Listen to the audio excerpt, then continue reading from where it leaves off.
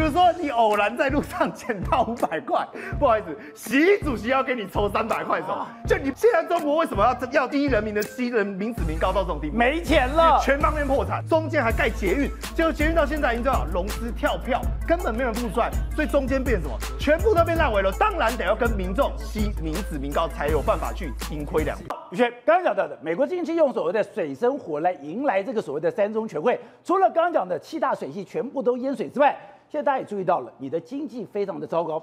之前不是讲吗？你的经济火车头，你是你的房地产，房地产当时很多人变烂尾楼，烂尾楼我就交不出去，所以现在中国说我要保交屋，好，我保证要保证把这个房子给我交出去。那现在中国有没有保交？要，把东西都保交出去了。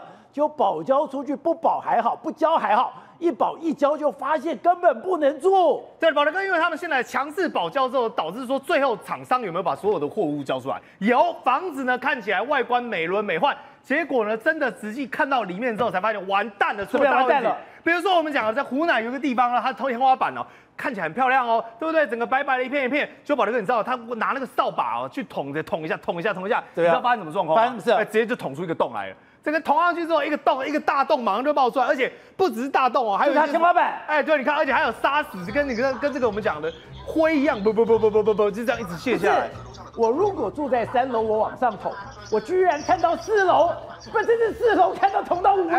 对对对，楼上还会告你楼下变态，你怎么讲？他说不是啊，我本来只是想说有一个蚊子，可能要打一下，打下去马上这个大洞，而且更惨的是什么吗？我们讲啊，往上不行。哎，可是这个混凝土根本填不够啊。不是，我跟你讲，海沙屋都不足以描述这个状况，因为海沙屋也不会被扫帚打败，好不好？怎么会扫帚捅一下？而且没有钢筋。哎，对，没有钢筋。它钢筋跟钢筋没有连起来。哎，对，而且更惨，你知道什么吗？他们有些人说，好好，那我。房子里面内装的问题，我去地下室总行了吧？就也不行，知道什么吗？开车往地下室哦，人家讲开着开着开着就下去了，而且是恒大哦，恒大够大家了吧？恒大很有名了吧？恒大世纪就开的时候，不好意思，里面是水库，你知道吗？水库，它的地下停车场完全变水库，是归了砖包让老瓜买，老瓜买。所以你说这个恒大世纪，我也是我保交了，我也要交给人了。结果我发现到地底下，地下室是这个样子。哎，宝大哥，我跟你讲，而且你不要误会哦。这个不是因为什么外头下大雨，我们是不是常常介绍说中国有下大雨？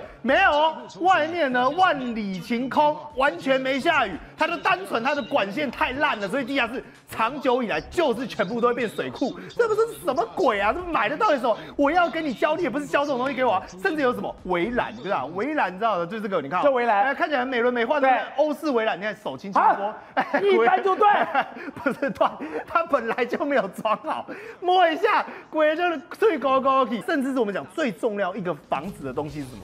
梁柱。我们刚才这些都还可以再二维修二补，但梁柱总不行，知道他们有个梁柱的状况，你知道底下是什么吗？什么？你看啊，它梁柱只能用手插去，发现是空心柱。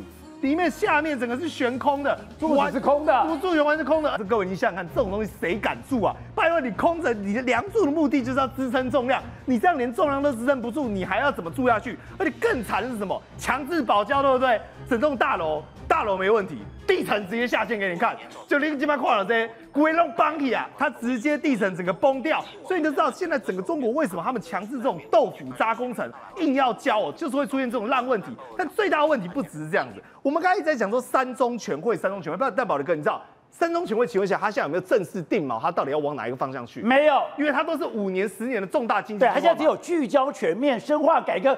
我哪知道你要干嘛？哎，有有有，其实有名目出来了。他们现在传出来说，你知道他们要提进行全方面的税改，税改。哎，税改听起来是好事啊，但你知道他要征什么税吗？比如说奢侈税，你买什么 LV 啊、GUCCI 啊精品，我要多给你抽一个税。但有一个税我真的没有办法接受，叫做偶然税。什么叫偶然税？一切都来自于偶然，所以你就要回归于偶然。比如说你偶然在路上捡到五百块，不好意思，习主席要给你抽三百块走，就你不能赚这种不义之财。你只要随便捡到钱，所以你的所有的钱财都要经过调查。你所有的钱财经过调查，如果你不能交代你的来源，它就是偶然来的。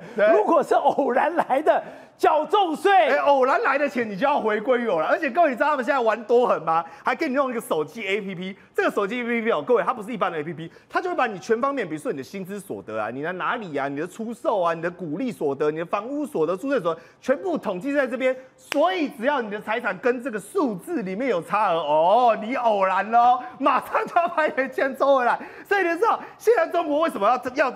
吸人民的西人民子民高到这种地步，没钱了，全方面破产。我给各位一个数字哦，破产最严重，你知道，其实不是中央，地方政府，你知道吓死人。你知道他们现在隐形债务多少吗？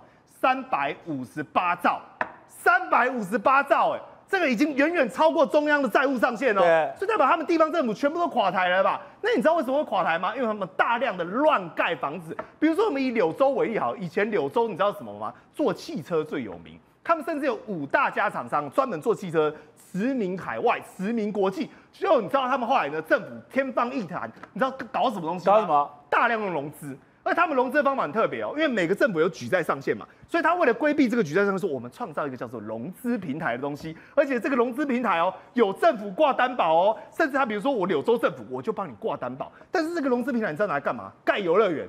那盖什么？你知道盖滑盖滑雪场，比如说贵州盖滑雪场。但是问题是，宝杰哥，你知道出出一个大问题？谁去贵州滑雪啊？对嘛？你谁会去贵州滑雪？那你盖那个游乐园之后，谁来去？他觉得他是规避掉原本的旧城镇，他等于是全新的造镇计划。所以最后导致的结果是什么？柳州欠债欠了九十亿，然后呢还不出来。各位我讲的是美金，我现在看到的都是烂尾楼。哎，对，然后全部空荡荡，甚至他们为了要串联旧市镇跟新的这个游乐园，还盖什么？中间还盖捷运，结果捷运到现在，你知道融资跳票，根本没人付出来，所以中间变什么？全部都变烂尾楼。就跟你现在看到了，一层一层一层，都是只有支柱，没有轻轨，没有捷运的烂尾楼。所以你就知道，这种状况下，当然得要跟民众吸民脂民膏，才有办法去盈亏两平。好，几位，你过去讲说。三中全会对中国来讲至关重要，因为所谓的改革开放就是邓小平在的三中当年的三中全会所这个提出来的，一中代表我的人事，二中代表我的整个政治的方向，三中就是经济，所有的五年经济计划从这个地方开始，就今年居然是一个闭门会议，我觉得非常奇怪的是，既然到现在一张照片都没有流出来，连一个主张都没有流出来，现在只知道他要拔鹅毛，也就是要抽老百姓的税，而且拔都来不及啊，是用整个用剃的。这一次来讲的话，还是以习近平自己个人的利益为中心呐？为什么呢？因为你现在所有的媒体，包含新华社的，都定调这一场会议叫做把习近平视为是改革家，你知道吗？那他说改革家这个概念来讲的话，就跟过往来讲邓小平所谓的改革开放其实是并驾齐驱了。所以你看，你看到现在为止哦，其实这一场会议不重要，为什么？这场会议延到半年了，本来在半年前就应该开了。对。那结果延到半年之后要开的原因，是因为你不开三中，怎么去开四中？哎。对。所以现在其实它是一个过场的概念，那里面的政策主张其实已经不重要了。为什么这样讲呢？习近平的本身来讲，他为什么要定位改革改革家？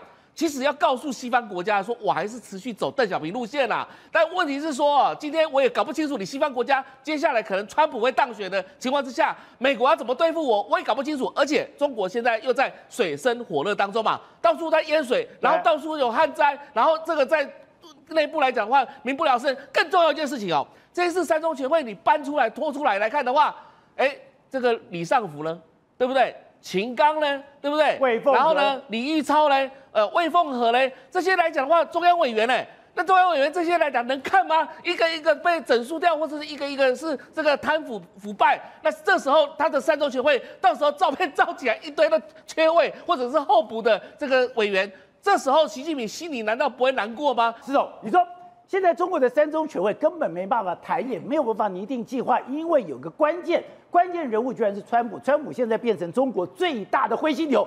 他现在这个庞然大物直扑而来，他会做什么招？他会出什么招？你根本不知道。他现在要帮你脱钩，他现在要跟你楚河开街，他现在要取消你的最惠国待遇。在这种状况下。中国根本不知道该怎么办了。没错，目前为止来说，你看到这个画面是川普出现在这个共和党的全国代表大会里面，他这个右耳包着这个纱布，你看他出现在共和党的这个大会里面，俨然就他已经是总统这样，然后大家都跟着他这边 fight fight fight，你看这整个画面是相当的这个激动。但除了这个之外，其实而且这一次里面来说，有一个非常重要的人出现了，那就是川普他所宣布的这个副总统搭档的候选人。已经有宣布由这个现年三十九岁的俄亥俄州的参议员范斯来担任。对那我就跟他讲，事实上呢，如果范斯确定是他的副总统的话，那我跟大家讲，中国绝对没有好日子过了。为什么？因为连总统、副总统都是非常的大鹰派，尤其范斯是超级大鹰派。你知道他这个被提名之后，他接受媒体 Bloomberg 采访的时候，他第一件事说了什么吗？这个 China is the biggest threat to U.S. 他就直接讲这个。最大的威胁他就直接讲这个，所以呢，他的最重要的理念就是中国是美国最大的威胁。所以呢，哎，任何人讲的第一句话是他最重视，他就直接说这样。对那那他曾经说过什么？他曾经说过，你看美国最需要是防止就是中国侵台这样的状况。然后他说，一旦这个事情发生的话，美国会造成大大灾难，而且是大萧条。所以他对台湾非常了解，因为他以前是搞创投的，所以他会他知道所谓 AI 啦，他又懂得所谓的虚拟货币，所以他很了解台湾的一个状况。然后他说什么？要把台湾要把制造业带回美国的时候，不要再依赖中国了，就这样一个状况。然后他他针对中进呃进口中国的方面来说，要让中国增多更多的关税，所以等于他的方向跟川普是完全一模一样。增高关税，对所以我才跟他全力对付中国。对，所以我才跟他说了，中国接下来要金价错了一弹。为什么错了一弹？我跟他讲，事实上这一次的这个，我们都说，哎，拜登好像上台之后呢，对中国也是好像没有好脸色，对不对？但其实真正发动这一切的人是川普。对，川普从什么时候开始？你看，我们记得他二零一七年的时候，当时不是还跟习近平很好吗？到紫禁城对，紫禁城，你看他访问中国的时候，不是还非常好吗？他这个这个这个川普呃拜这个所谓习近平还打开了非常多的这个地方呢，让川普去参去参访嘛，对。但没想到他回程的时候就知道说中国绝对不行了，我们要好好的来遏制他。对所以保监长从他二零一七年离开之后，他做的第一件事，保监长是什么吗？什么在二零一八年的十二月的时候，他抓了一个人，那就是孟晚舟，在加拿大抓了孟晚舟。抓孟晚舟是他抓的，哎以前哪有一个美国总统敢这样干？对他敢这样做，他就抓了孟晚舟抓。华为的小公主那从这时候舟。开始对华为开始封杀，这是第一个，他敢这样做。那紧接而来的话，二零一九年展开什么？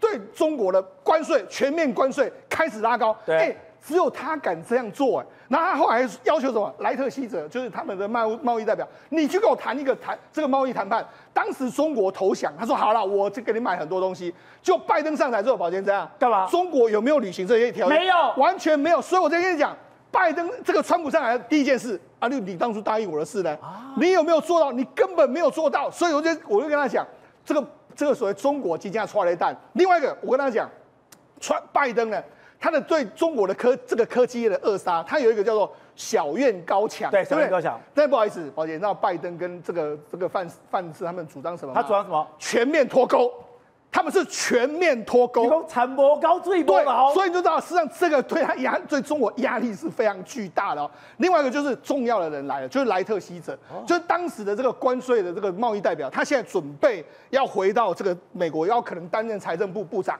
那他担任财政部部长来说啊，他当然不会给中国好脸色。哎、对第一件事，我当初谈判的这个这个这个细则，你有没有买？你要买多少东西？你有没有买？没有买，那有什么好谈好少好谈的？所以你看，川普不是说吗？他在当选的时候会考虑到中国进口苛征百分之六十的关税吗关税？哎、他不是只有讲一次，哎，他二月四号是说所有中国关关产品苛百分之六十，那所有进口美国要苛百分之十，然后他还说中国的制造车辆要苛百分之五十，然后中国车在墨西哥生产要科百分之百，所以呢，他哎、他是所以你就算把车子跑到了墨西哥对，你在那边洗产地，对我照样帮你磕百分之百。所以他是对中国是又更加强硬的。所以你知道最近出现一件什么事吗？中国现在，哎、你知道最近一段时间呢，中国输往这个美国的所有的货柜价格完全暴涨，暴涨到一一一个箱子哦一万多美金，这已经来到以前历史的新高。那你知道宝洁为什么会这个样子吗？因为中国的进口业者、中中国的出口商跟美国的进口业者知道。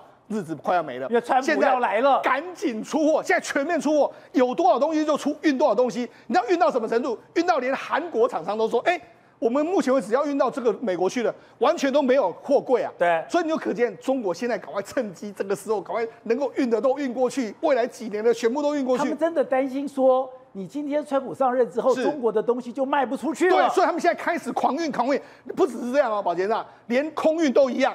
他这个什么西运啊、Temu，他们都用空运运，现在等于是能运多少都运多少，因为他们知道，在今年十一月大选结束之后，到明年一月的时候，搞不好这些货品可能都要被科高关税了。台商非常关心三中全会，更关心三中全会的两会，因为三中全会是中国刚刚讲的我的经济定锚，未来的五年经济计划就是什么？就是三中全会里面定的，定了以后交给两会去做执行。对可是今年两会刚刚讲的，你刚刚讲到李强已经讲的，对，我要过紧日子。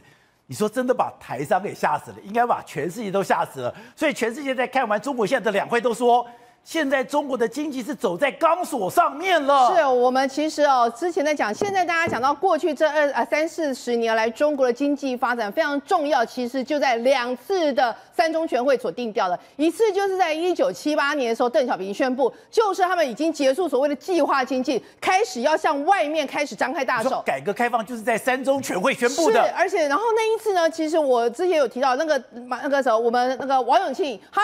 嗅觉很快，他就认为说，当这个经济体开始要开发的时候，那台商一定要进去，因为我们在不管在语言上各个方面，跟中国其实是可以互相成长的。所以台商大举的进到中国，就是那一次的三中全会之后。就是那时候他们已经受到嗅觉，而且大家如果可能不记得的话，我这边再提醒一下，就是那时候曾经啊，王永庆跟李登辉针对在中国这个投资经济政策开始吵架，因为他认为你如果现在就去中国，你会掏空台湾，把所有这一些加工业者全部都带去你说。借机用人就这么来对，的就，那时候都产就开始有产生一些，而且我那时候如果时间没记错的话，他还飞到美国去，因为王永庆很生就曾生气，如果你敢去中国那样子投资的话，那我就要把你台塑、南亚、台化三家公司全部都下市，因为他就用这种方式叫你不可，我政策没有松绑，你就是不可以去，所以那一阵子其实吵得还蛮凶的。后来呃，第二次对中国来讲非常重要的一个开放，其实也是在呃江泽民的时候，也是在三中全会，他那时候就是强调一件事情，就是要发展社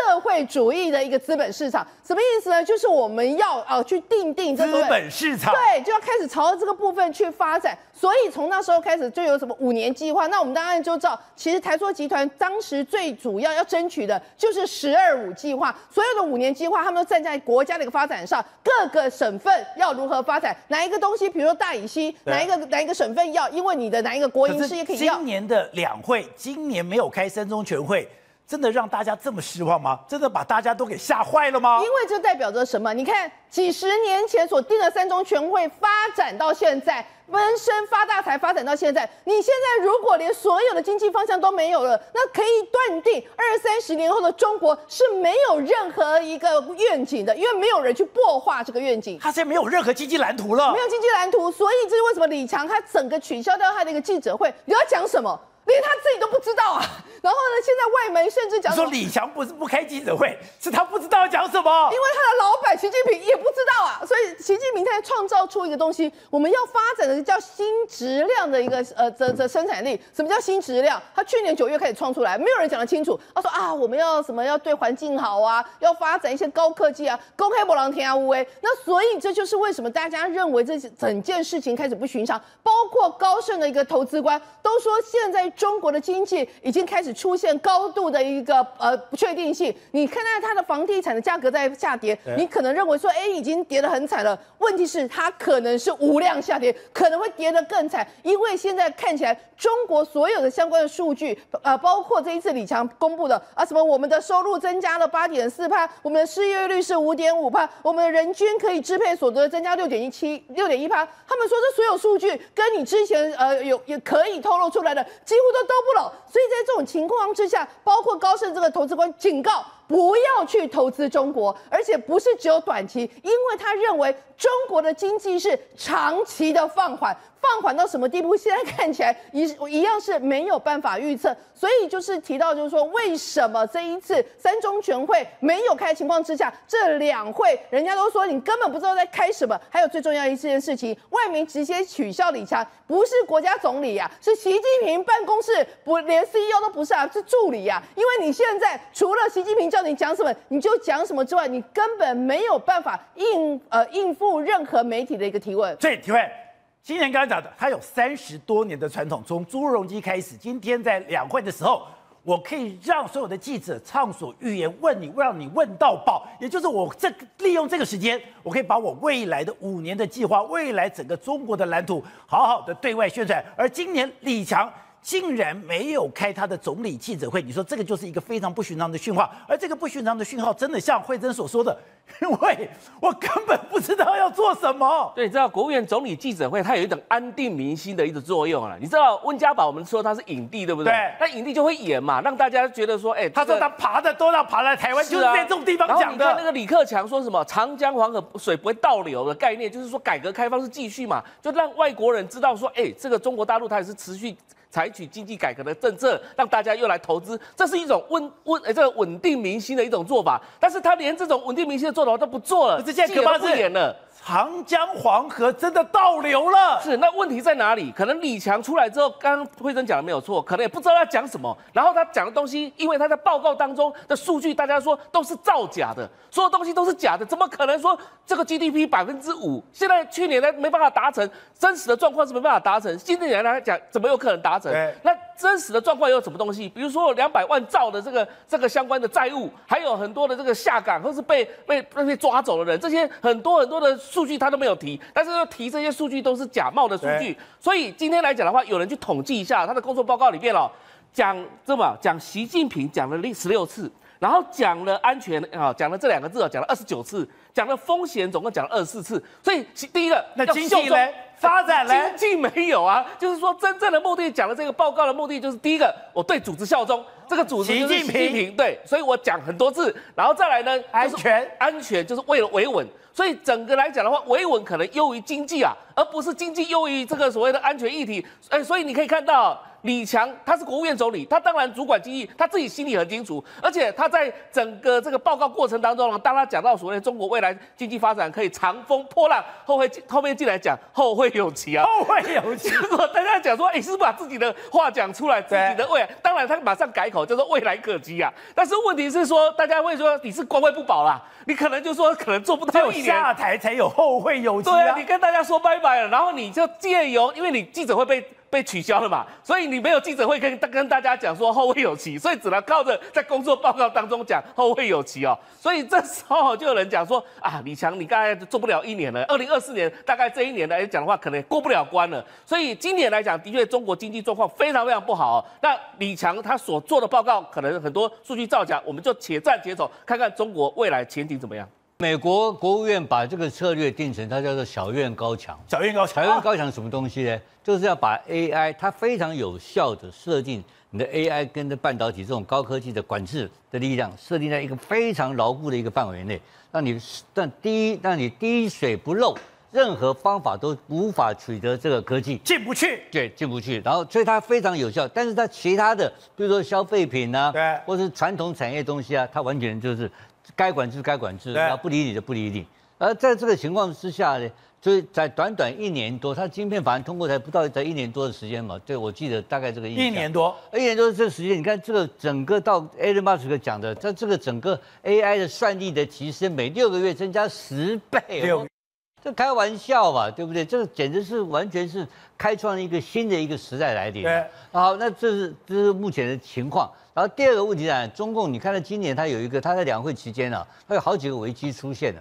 第一个它最大的危机，它是从历史上第三次通过所谓的特别国债发了一兆，就是我们叫一万亿人民币。对。那这一万亿人民币一兆并不是很非常非常多钱，但是它在历史上是第三第第三次第三次叫叫特别国债。第一次是什么时候呢？是金融风暴。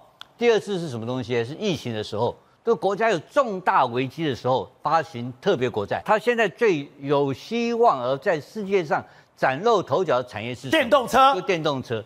它电动车的整个的总值，目前全世界市场市占率第一名。对，市占率第一名，你知道你知道电电动车替它国家的总 GDP 带来多少影响？你知道多少？百分之八。你有没有可能靠百分之八来救这个国家的经济？不可能，也不可能嘛，对不对？所以百分之八没有办法救全部，因为它的房地产卡是太惨了，三十三十，在三十的后面，然后现在问怎么办？现在就面临到一个很严重的问题。从这次从两会来看，我们大家在比较这个西方世界，这叫做共同价值体系所创造出来的价值链。对，这个共同价值什么样？共同价值就是一个国家的体制问题了。那在这个时候呢，习近平仍然坚持用。他共产党的价值体系。对，什么意思呢？你看，这很简单，他取消了所谓的总理的这个谈话记者会那总理记者会代，他这取消原因代表什么？代表一种退退步指标嘛，一个反自由、反言论自由的一个一个非常强烈的指标嘛。那这个指标看起来，它会变成它的它的所有国家的施政方针会倾向于什么样的方式呢？倒退的方式嘛。什么意思呢？就是管制在管制在管制，所以它的国安法会变成它执执法的重重要的依据。当你国安法开始摆在前面的时候，就会有发生什么事情？所以西方的投资者还有顾问公司，没有人敢进去了。像高盛这种公司，因为你一进去，我帮你去评估一个公司的话，对，我间谍间变美变成间谍。因为我要去顾，我当你的顾问，我一定要去做所谓的研调研，我要去做调查研究，我就是间谍。那你调查，但到最后你调查什么东西啊？他的国安法就来了，所以这个就是他的目前为好那边人他的政策，这个什么意思呢？他的政策还是政权优先。什么叫政权优先？他不管你经济的，因为中国有没有比现在过去更惨过？有有啊，所以他不怕。哦，习近平的经验里面，他的知识里面，他上过乡，对不对？上过下过乡，下过岗，上过乡，他都搞过，他做过工，他什么都碰过。他不认为这个有什么困难，所以他的概念里面，他就政保政权为第一优先。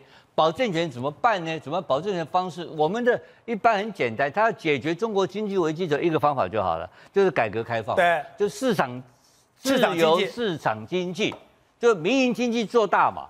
民营经济做大起来的话，靠民营经济获利，靠它的资金的运转，逐渐消化掉那些所谓的这些的所谓的烂尾楼啊，或者或者是存货啊或不良啊。像我们像刚刚我们上一节提到的，中国是全世界猪只猪肉。全世界生产量百分之五十在中国，百分之五十在中国现在生产过剩，在猪肉价下跌，这有没有关系？没有关系，为什么？那市场会调节，那是属于民营经济。可是你现在回过来，它中国的政权靠什么？靠国营经济，因为它要把国家的经济做大，国营事业做大的话，它才能够有效的控制这个国家。万一阿里巴巴大起来，他为什么把蚂蚁金服干掉？蚂蚁金服就做大的话，它失控了嘛？对，失控的情况之下，你抢我的政权呐？所以他把你干掉，对，补教业干掉，他 看到他完全是政权考虑。所以我现在讲什么意思呢？所以中国还是会强烈的推动国进民退，他不要用所谓的民营经济来解决他的问题。难怪李强一直在讲安全跟风险两个字。好，那这个时候告诉你，就是他放弃了民营经济，因为民营经济才有所谓的盈亏自负的概念。盈亏自负的概念，它对资金、对人力、对资源做会做成。最有效益的运用，对不对？而且你说现在发展非常可怕，是你被排除在全世界的经济跟技术范围之外的时候，现在虽然你在某些地方还领先，包括你的电动车领先，可是你只要在 AI 上面，在高能运算上面，你在落后之后，你会全面崩溃。对，但是现在无法取得，无法从西方取得所谓的。高等的这个技术来源已经变成事实了。那过去这四十年来，它如果认为能够迅猛的成长，原因是哪？因为西方提供它非常大量的高科技的来源跟人才。现在目前连人才的来源也通通没有了，因为中国留学生在美国全面被受到禁止，在全世界各地受到禁止。你说连宁德时代的电池技术都不保了，就变成就变成电动车里面有一个关键的问题，就是它现在优势在宁德时代电池电池。电池它全世界第一，它有两家公司，宁德时代跟这个比亚迪都是全都是第一名跟第二名的公司。那这个东西占市占率占了百分之大概五成以上，但不知道多少。可是目前我们所知道，全世界西方的科技公司都锁定这个产品，因为要打败中国的科技，中国的电动车的为最重要的事情，电池就是电池。它电池做突破，科技上突破的话，那这个马上立刻就能够改变整个市场的风貌。然后让中国的这些电动车居于落后的地位，而这个事情按照目前 AI 的这种能力、这种科技能力不断增加演算演算能力的话，它的化学跟化工方面计算都会进步。那进步时候的预估在三到五年之内会创造出新的电池，然后替它整个改变整个这个 EV 这个电动车的这个整个的竞争的态势。而且这两天中国的两会正在举行，这个非常重要，是因为。他之前是有一个三中全会，三中全会等于是中国跟他经济破坏最有关的会议，竟然没有开。没有开了以后，这两会好像就在走马看花，好像只是一个过场，过场就算了。照讲有一个总理的这个记者会，总理记者会也取消了。我想说，为什么发生这么大事？你说跟他的经济有关系？他的经济遭到他连演都不想演了，是宝杰哥，中国这一次真的出大事了，有这么严重吗？完全盖牌，盖牌到所有，甚至连这种演对国际演一场秀都不愿意再演下去了。你你说以前盖牌是我把一些经济数字盖牌，我把一些青年的失业率盖牌，现在。我连三中全会都盖牌。简单一句话，就是未来五年到十年，中国像是一只提米菇啊，在黑在黑暗中完全不知道方向。因为我们之前有提过，中前中国从去年开始六项非常重要的一些经济数字，包括出口、进口、你用电，然后还有就是说你的一个失业率，所以所有相关的数字全面盖牌。全面盖牌。所以全面盖牌到现在，它不能对外公开啊！你只要对外公开是其中一个数。数字马上被人家发现都不拢，对，所以人家就会说，哎，不对，那你的数字都不拢情况之下，那这样子在这种情况，中国不演了，我全部都不说。也就是以前我们当然也怀疑他的数字有问题，所以李克强上来以后说，我不相信你的数字，我只相信什么？我只相信你的用电量，我只相信你的运输量。现在我连炮制这些数字我都都不拢了，对，都不拢之后。我干脆不演了，完全不演，所以现在连总理的记者会都宣布取消，这是中国经济开放三十几年来头一遭发生的事情。然后大家就说，那到底中国经济有多惨？我们现在就要告诉大家，中国经济有多惨。你知道，从二零二一年到二零二三年，大概二十个月的时间，中国已经印出了五十四兆人民币的一个钱，五十四兆人民币，对，在这个市场上丢到市场上，他丢这个钱是要干嘛？希望啊，企业可以去借。钱可以做相关的投资，希望地方政府可以挣这些钱做一些铁公鸡建设，希望这个钱可以真的活络整个经济市场。结果事实证明全部没有发生，就像是个小石子丢到池塘里面，连一声扑通的声音都完全没有，听都听不到，完全听不到。包括你知道 CPI 指数，包括 PPI 指数，其实我们都知道，所谓的 PPI 指数就是工厂这个生产产品出来的一个数字。当你的工厂产品出来的数字不断的下降情况之下，照理说，哎，消费者会觉得凶啊，小咪呀，我要进来买呀，所以他就会促进他的一个消费。结果现在发现，竟然这个工厂产品出来的数字下降之外，连消费者买的这些猪啊、鸡啊、肉啊消费，所有全部都下降。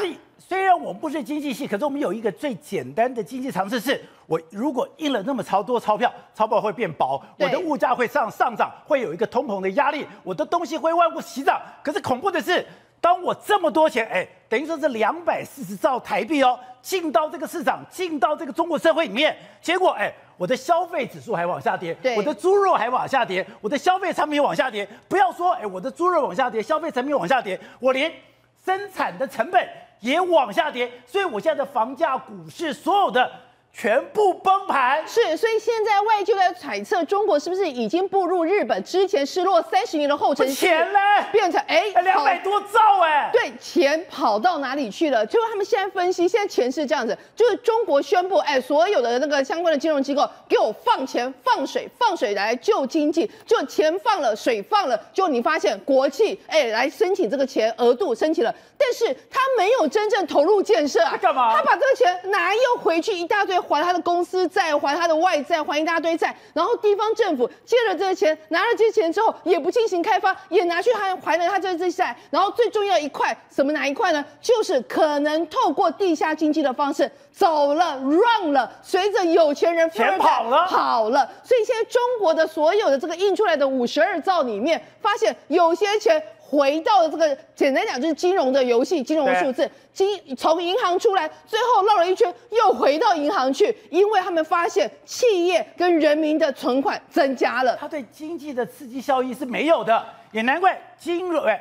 英国金融时报他居然怎么讲？哎，他居然讲说现在中国的印钞机开到冒烟，可是钱都不见了。是因为大家不敢花钱，大家不敢花钱的最重要原因就是大家对于未来的经济前景不看好，所以呢，发现说我还是存着钱，我还是攒着钱，不然的话，我可能真的完全没有钱。另外一个状况是，很多人赚不到钱，所以他们说民间的一个，尤其是青少年的失业率是飙到四十六趴，所以你没有钱情况之下，你更不会去花钱。另外，你看到一个，你知道吗？通常这种两会召开哦，这个经济这个股市一定要上演一波行情，宣传一下我的经济没问题。结果现在完全不演，连股市都不演了。他们说在二月二十八号这一周哦。光是从股市这样跑出去，中国呃基金撤出去的金额高达十六亿美元呢。在最有两会之前，竟然还有这么多的钱往外跑，你就知道现在中国真的彻底的已经完全没有办法再演下去了那。它的房市嘞，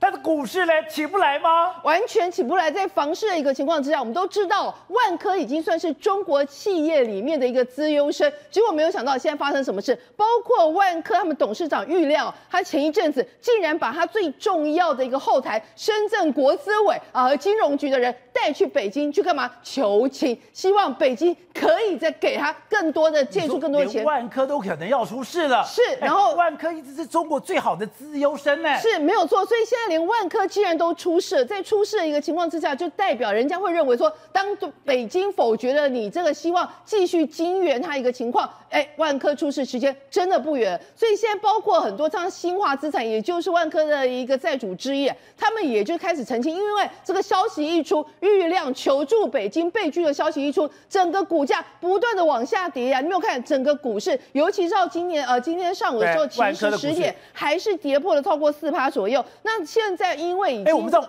以前万科有一个非常漂亮的酒店，是。悦榕庄酒店，对。它居然一口气卖掉三家了。卖掉三家，然后现收，因为灯很金，现收现金四点八亿元，还有包括什么？他竟然把他的心头肉上海七宝五万颗哦，这个现在是打了五七折卖给别人，所以你就知道。当你一个房地产的资优生都要来卖地来筹钱的情况之下，你就知道他真的经济危机有多大。而且这两天传个消息，中国的大润发，不不，中国的这个所谓的大润发，一个一个关掉了。是呃，其实哦，这个大润发从之前到现在家最最好的商场，哎，是，而且你知道吗？现在目前传出从二零零二呃二零二三年到现在也才一两年的时间，它竟然有一口气有十三家全部都已经这样关掉了。这十三家有的甚至四川店啊、湖南店啊，其实过往都是那种业绩相当不错的，所以你就会发现说，如果连这种最基本的一个消费啊量饭店，已经不是说啊都是已经是一般生活呃家庭会去买的这个地方，都因为收入不好而产生关掉的情况之下，你就知道现在中国的经济有多差，还包括哪里？还包括呃深圳啊，包括厦门，他们竟然有一条街超过五十家店全部都倒闭。你看这真的很可怕，因为他们的人就去拍摄，发现说什么卖面的也倒了啦，卖那个手机的也倒了，卖衣服的倒了，几乎没有一个行业是不萧条的。所以他们就说，在这种情况之下，你就知道为什么现在中国的失业率会那么高，因为连这种商店都关闭，找不到人，不需要人，没有人来消费的情况之下，他哪来的一个就业机会？不对，我看这个数怎么昏嘞？中共这两年哦，这本二十个月，二十个月印了五十四兆，它不是两百四十兆台币，这么多钱，这么多钱留在市场，照一下，哎，你的经济会好一点呐、你的景气会好一点呐、甚至刚刚讲你会稍稍有通膨啊，你的股市、汇市，包括你的这个所谓的，你应该讲你的这个市场、你的房产都会好。结果你的消费者物价指数还是往下跌，生产者指数也是往下跌，怎么会这个样子？如果投了这么多钱进去，经济就会飞上天了。结果它都没有发生，而且物价完全没有狂涨，代表什么？钱被拿走了，甚至钱去填补所谓的泡沫经济的洞。钱被拿走了，套在房地产里面，再来被有钱人收在手里，因为绕来绕去还是在有钱人手里，再来一堆人可能要背很多债务，这是泡沫经济破掉最可怕的地方。物价没涨，工厂的生产没有增加，那钱已经是破掉了，钱可能被某些人偷走了。对，所以我们来看所以我虽然印了这么多的钞票，刚刚讲连《金融时报》都想印钞机都发烫了，可是钱呢？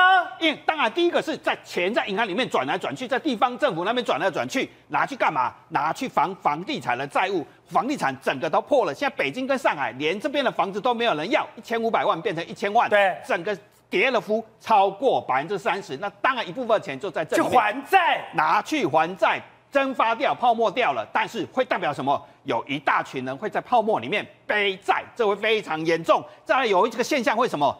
钱会集中在少数人的手里，集中。本来一些钱投下去，GDP 就会往上涨，结果中国经济比没有在上涨，你钱投在哪里？存款在暴增，集中在少数人手里。这个在日本泡沫经济时代其实就发生过了。他刚才哎，中国现在的银行三月份，它的银行光三月份银行存款了五点一兆，哎，同比。增加了一点二二兆，这是什么概念？就是钱被一些有钱人掌握在手里，他根本没有拿出来，只是在银行里面转来转去。这是日本泡沫经济发生的现象。中国现在发现了，所以你本来说我想印那么多钞票，印那么多钞票，我就想着你的这个所谓的资金成本低，资金成本低，你可以去贷款，你就可以进行建设、进行投资。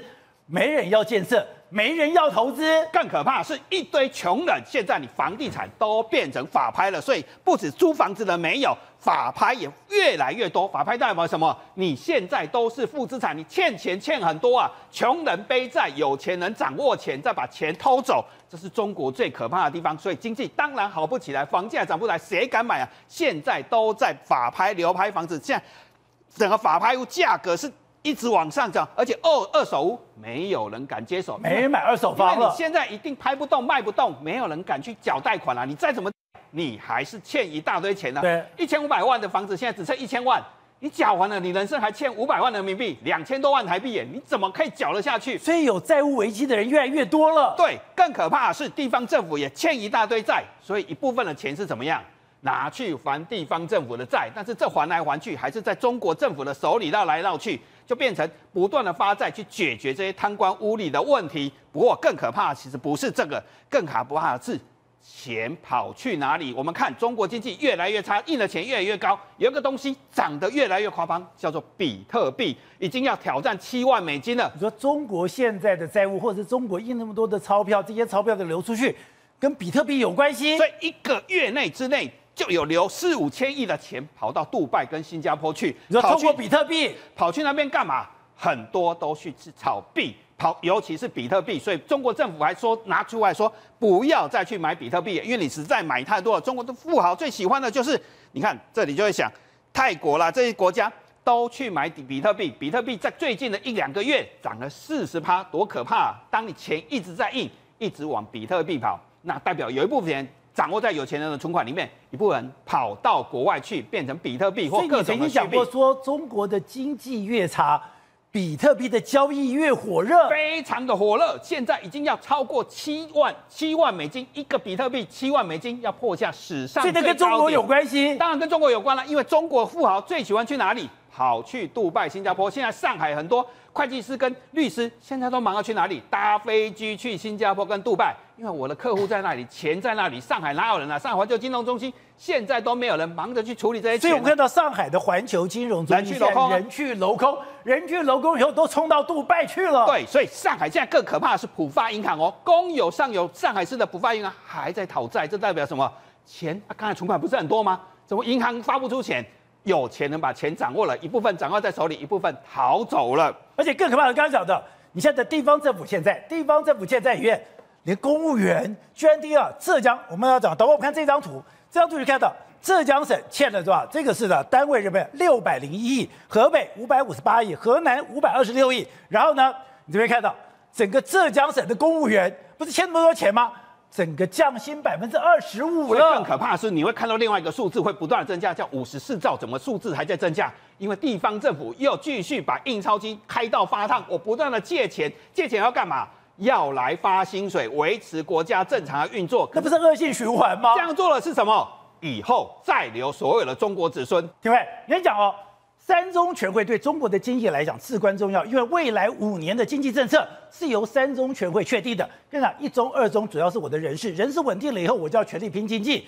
可是刚刚讲到的，现在三中全会居然不开了，然后。总理记者会也不开了。对，你知道这个中全会要开，基本上是一个共产党法定的一个政策。它是法定的，每年每一年都要开一次这个呃这个所谓的中央委员会的全国代表大会哦，那简称叫中全会嘛。那三中全会是干嘛？三中全会是在做国家的经济政策的定调。那因为中共它是以党领政嘛，所以党一定要先开。开三中全会之后，两会的时候，这时候国务院总理才会如实的把这个党的政策作为他一个政策，然后再阐述未来可能他在执政的五年的过程当中呢，要怎么来做。所以你看到共产党竟然没有三中全会。而且这个三中全会已经历时多少年了？以前这个邓小平改革开放政策就是在三中全会宣布的，而且各每一改革开放是在三中全会开的，连毛泽东都不敢把三中全会弄掉。你今天习近平竟然何德何能说我不开就不开？这种这就有点任性，你知道吗？那所以我们评估啊，如果不是他任性，那一定内部出现什么问题？那内部如果出现问题的话，一定是什么经济政策的走向一定有什么问题了？其实拿不出一个什么东西来。如果赵慧珍讲的是盖牌，盖牌是一种做法，但是我们比较更怕的在政治上的效应是什么？可能习近平来讲的话，可能连经济都不管了，因为他根本就你自己要管都管不着了。你看他刚刚我们提到啊，他竟然印钞这几年来印钞两百四十兆。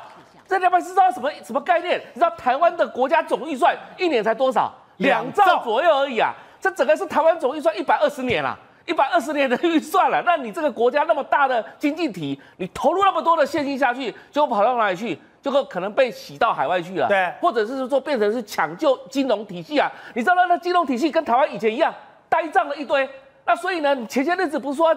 中共这个政府发布说要抢救房地产吗？对，抢救房地产，他说让他八大行库那个国有的八大行库整个下去的时候，你知道这些应该都是去填补那些八大行库所留下来的呆账，或是他的资金了这么多钞票，我没有促进经济的发展，我只去补破网。对补破网，那原本那些的钱呢？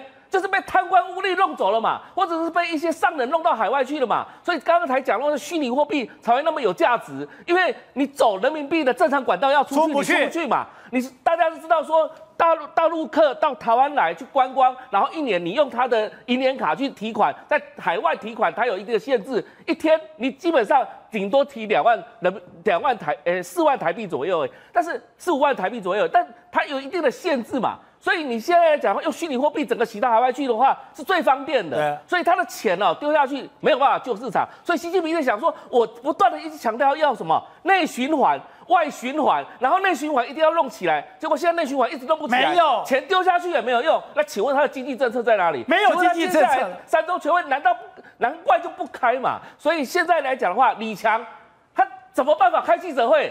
所以，因为我根本是不知道我下一步要怎么走，他连自己的下一任，也就是说自己能够当官当到什么时候也都不知道。所以，为什么外媒传出来说李强随时可能被请辞？对，因为一九九一年以来，你知道吗？他们总理就本来就在会后两会之后就有个记者会，对，让朱镕基也让他畅所欲言，对，然后后面温家宝也好，李克强也好，都来面对记者，甚至以前说一个多小时开记者会开到两个多小时，两个半小时，而且还有英文翻译。现在完全没有了，他等于是把它盖牌，然后呢，李强也不告诉大家说我要做什么事情。那中国现在是盲人骑瞎马。是啊，啊，大家不知道你中国要做什么，所以难怪哦，你知道，刚才一个鲜明的对比，大家说中国可能要进入一个非常久的一个时间，大概三十年到五十年的通缩时代。你知道这几天日本的媒体发布什么信？日本政府岸田文雄随时可能会发布，日本已经结束掉脱离通缩，脱离通缩，进入到一个经济全面发展的一个阶段。所以两个国家，你看相对比之下，现在日本什么样子，中国什么样子，那这一切来讲的话，可能都归咎于习近平整本身不懂经济，然后到现在为止也不不用这个所谓的经济的专业人才。那真正懂经济的李克强已经心脏病死掉了。然后他本身来讲，他是北京大学的经济学博士呢。他他这样子心脏病死掉，然后后面这些人，李强是干嘛的？李强是管理学出身的，所以完完全不懂经济的情况下，怎么救中国的经济呢？所以现在来讲的话，中国经济真的是越搞越糟。好，辉仔，我们外行人不懂事。你说三中全会如果不开，看到这个状况，台商会吓死了，因为台商基本上我要对中国的投资。我要盯着你的三中全会，三中全会你会未来五年的经济计划，我要根据你的经济计划，我才可以按图索骥把钱丢进去。如果没有这个东西，你说台商对中国的投资？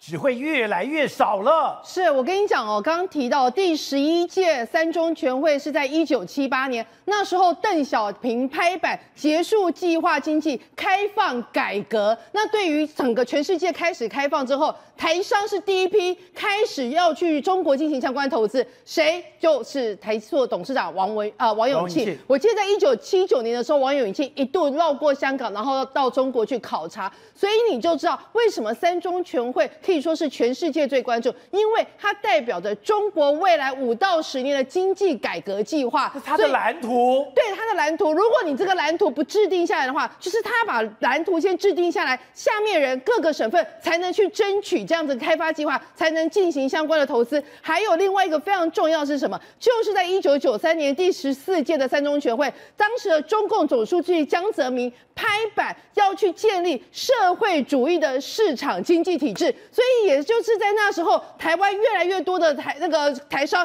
前仆后继到中国去，包括连红海这一些也都到中国去呃布局相关的投资。然后我刚刚提到一个最重要的，二零零八年的时候，我们都知道台塑的董事长王王永庆他一直有一个梦，什么梦呢？就是希望可以在那个呃中国建立一个大乙烯计划，然后宁波园区，你知道他们从大概两千年之后一直在争取这个计划。我印象当中，在二零零七还是二零零八，也就是他们那个真正的三中全会要拍板哦，哪呃十呃十四五啊十四五全中国要有多少的大乙烯，那个大乙烯要有多少的国营企业，比如说中石化、中海油，谁能盖谁不能盖，那时候就是宣布名单，那时候台塑集团上下都在关注他们的宁波大乙烯有没有被宣布在那个名单当中，结果后来拍板是没有。没有的原因是卡在中国希望台塑集团跟他们国营要有一个合资比，大概是五十五十左右。但是王永庆他有一个条件，就是在这种这个政治风险相对来高的国家，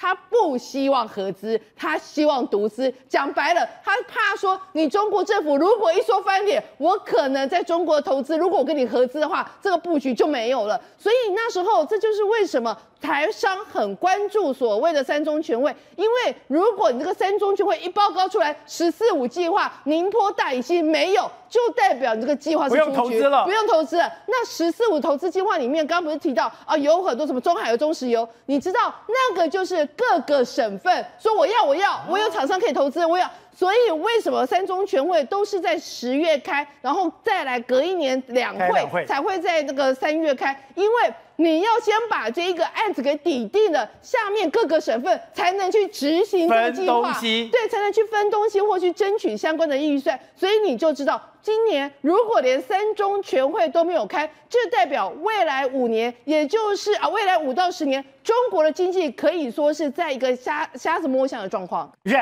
现在中国哎，经济不是自己很惨，现在惨是惨到他现在谁碰到他，谁都惨。哎，宝哥有一个智者讲过一句话哦，就是遇到倒霉鬼最好闪他远一点，知道吗？因为你碰到他，你也会变倒霉。中国就是这个状况嘛。来，跟各位报告，你看啊、过去大家讲，原本电动车电池是谁从谁发明的？特斯拉嘛，对啊不对？结果后来传进中国之后，结果这件事情变成是什么？美国再也不敢再跟他碰了，也不敢跟他竞争了。对啊，你说中国现在这个市场，刚刚讲的谁碰他谁倒霉，现在连特斯拉这么厉害的碰到他也惨了对吗？反客为主嘛。原本电动车市场是特斯拉称霸，特斯拉研发电动车电池，结果中国把这个 know how 把这个技术学走之后，反过头来怎么样？直接把电动车这个市场给搞砸了。好，我们就举小鹏汽车来讲啊，讲个名言。以前我们大家会讨论说，电动车是不是有蓝海、有红海，对不对？宝德哥，那你知道现在中国是什么海吗？是什么海哎，血海，血哎海一片血海，全部价格战。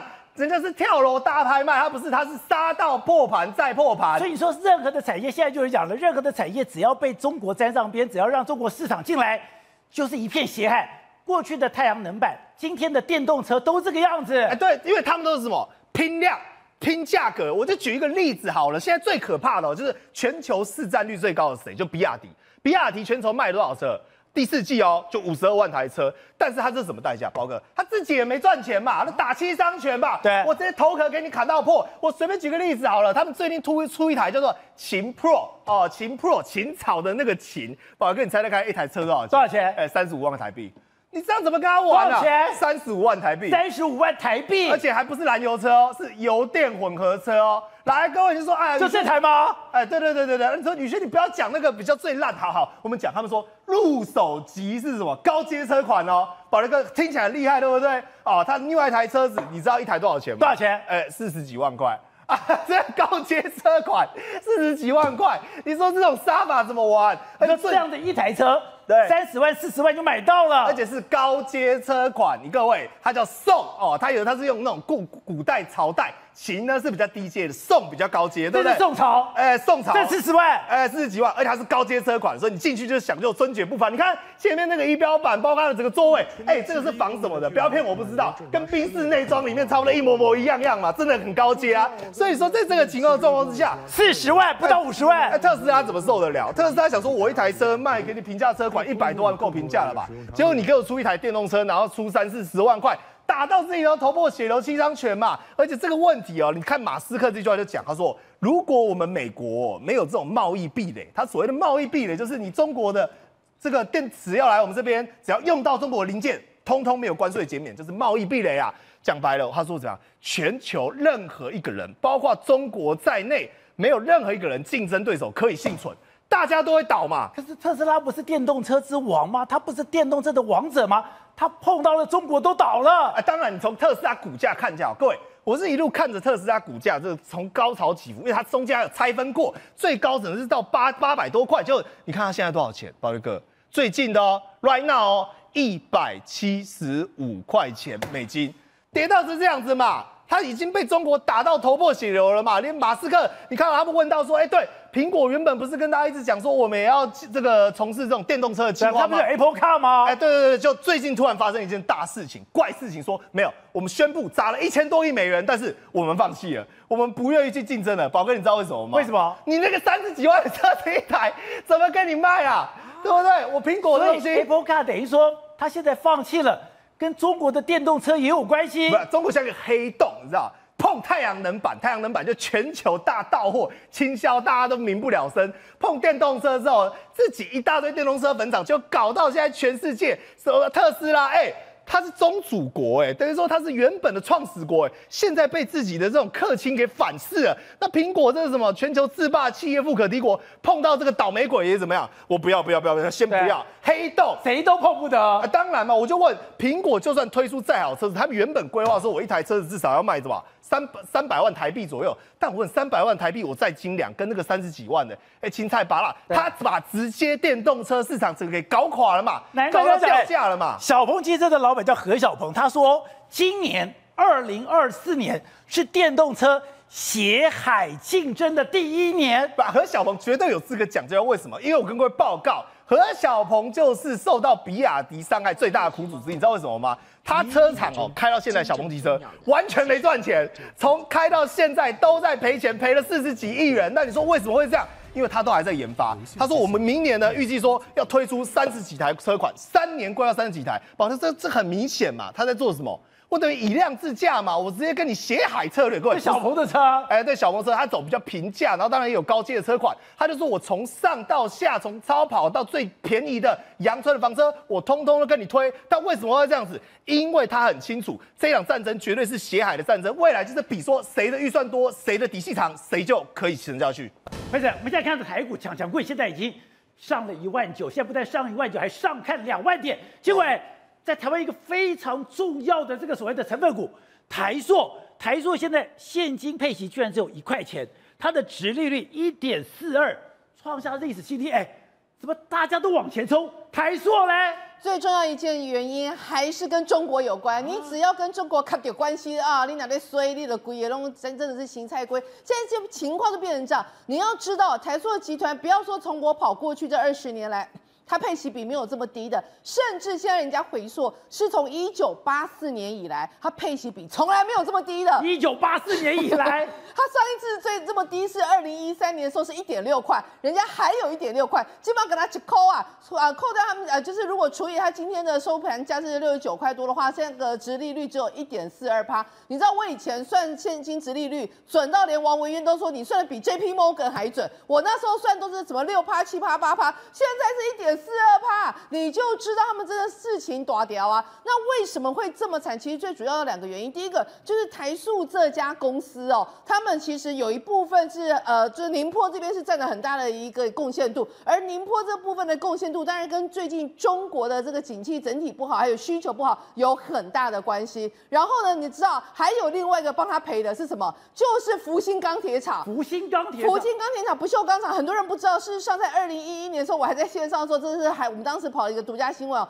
就是台塑集团因为很想要在中国弄个钢铁厂，所以他就拉了几家公司，然后就去成立了个福星钢铁厂。这个福星钢铁厂是非常少数台塑集团愿意。跟就是在地政府，也就是福建省一个国营企业一起合作，在中国的。那你记不记得我昨天不是跟你讲过吗？以前王文玉、王永庆有一个原则，他不喜欢跟人家合资，尤其不喜欢跟地方政府呃跟他们政府合资。他认为你这个风险太大，那要搞 j a c 不？只有这个厂，后来才说就规划旁可以入股。本来以为哇，我们已经开始插下我们的不锈钢厂，我们的钢铁事业终于在中国种下一个种子，未来要开成一片呃你那个树荫出来了。结果从二零一一年到我在跑的时候，我记得这家公司不锈钢厂没有赚钱过，真的，因为我跟你讲。他真的，他以前什么？台塑是经营之神呢，碰到什么都可以赚钱的。对，但是这个不锈钢钢铁，这后来越南厂有赚钱，但是这个不锈钢厂后来他们还把那个 JFE 日本的 JFE 拉进来，因为就是说技术他授权了干嘛的。但是最主要关系就是因为像这种不锈钢啊钢铁，其实中国自己本身生产也很多了，所以当中国要开始低价跟你这边拼的时候，你真的很难。当时候会设在福建，有一部分的原因是说，以后东协市场大好起来的时候，我们也可以过去。那你知道为什么我今天要？特别提到不锈呃这个福星不锈钢厂，他现在竟然今这两天宣布哦，说因为亏损很严重，他现在又要投资五亿美元。